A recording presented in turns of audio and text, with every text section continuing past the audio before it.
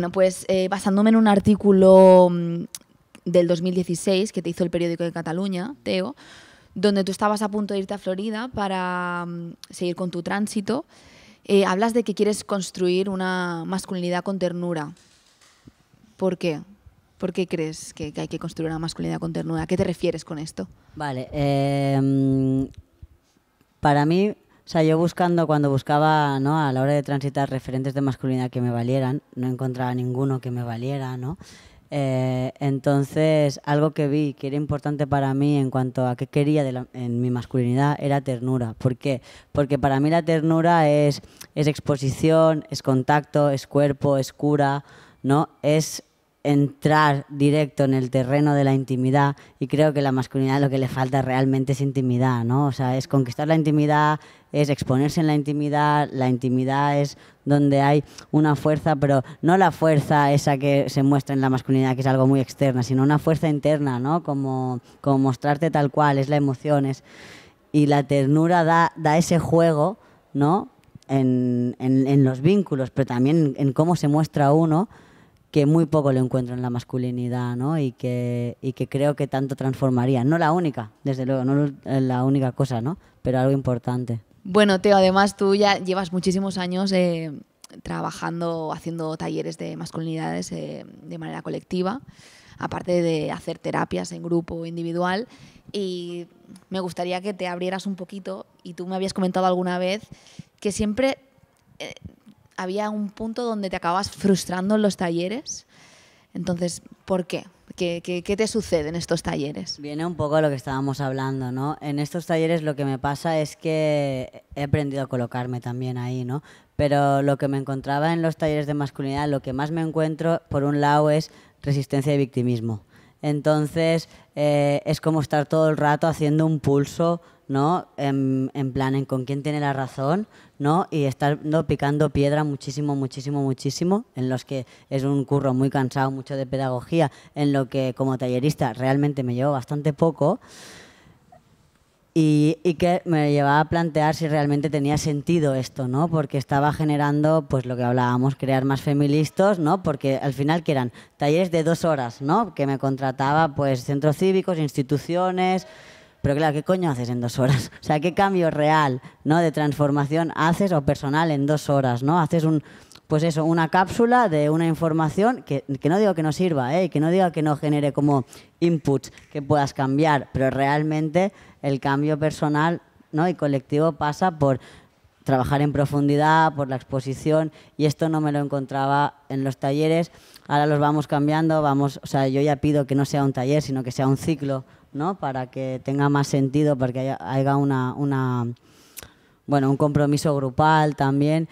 Y yo encontraba el sentido a esos talleres por mi experiencia como trans, porque yo encontraba un lugar, como hablaba antes, de pertenecer en la intimidad que no había tenido por haber sido sociabilizada como tía, pero no por lo que estaba sacando a nivel de contenido del taller.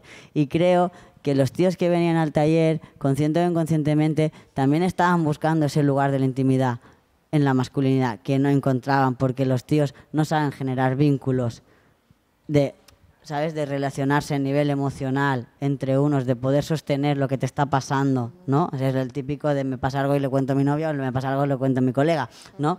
Pero no voy a, mi compa tío y se lo cuento, ¿no? Entonces, de repente, al generar esos espacios de tíos, bueno, eh, se generaba un espacio para poder, para poder indagar más sobre todo esto. Yo me llegué a frustrar porque tuvo, o sea, a momentos tuve que llegar a como a rebajar tanto el discurso que a momentos casi era negarlo, ¿sabes? Para que, para que se me pudiera, casi que te digo, para que pudiera seguir haciendo los talleres, ¿no?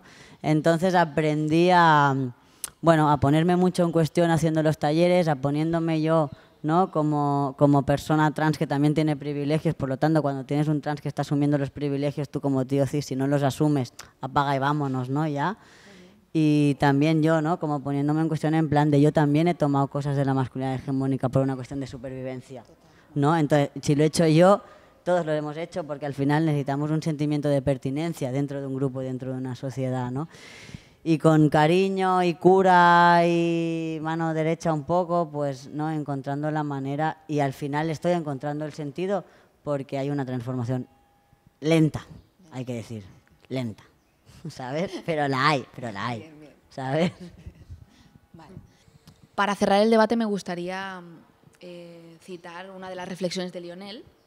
Si la lucha política de la mujer es la de llevar lo privado personal siempre invisibilizado a lo público político, entonces la lucha del hombre se entiende como la de retirarse de lo público político para redescubrir y gestionar más y mejor lo privado personal consigo mismo y también para, y con los demás? Con esta cita se entiende el, a veces los, los cortocircuitos que aparece con el movimiento de hombres críticos, ¿no?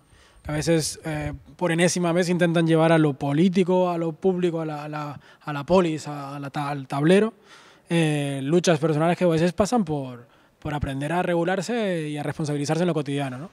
Eh, el, precisamente el, el, tema del ocupar espacio, el tema de monopolizar la palabra, el tema de tal, lleva, es, una, es una lógica que llevamos haciendo de siempre, ¿no? cuando quizás parte de nuestros nuevos aprendizajes de género pasan por quizás pensar, escuchar, tomar opciones más pasivas, dentro de la lucha política. ¿no? Y renunciar, claro, no, quiero decir renunciando, renunciar a veces supone también invisibilizar, no quiero decir invisibilizar eh, problemáticas sociales y políticas en, la palestra, en la plaza, ¿no? pero sí adoptar posiciones quizás menos eh, monopolizadoras del espacio y retirarnos, charlar, hablar, responsabilizarse en lo cotidiano con el grupo de, de iguales inmediato, etcétera, ¿no? Pero, pero sí, supongo que el, nada está dicho y estamos aprendiendo, supongo, en, la, sí, en el camino, ¿no?